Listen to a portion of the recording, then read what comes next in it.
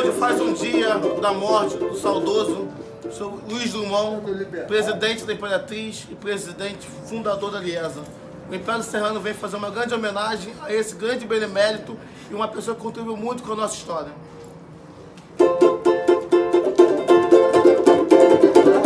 Liberdade, liberdade, abre as asas sobre nós.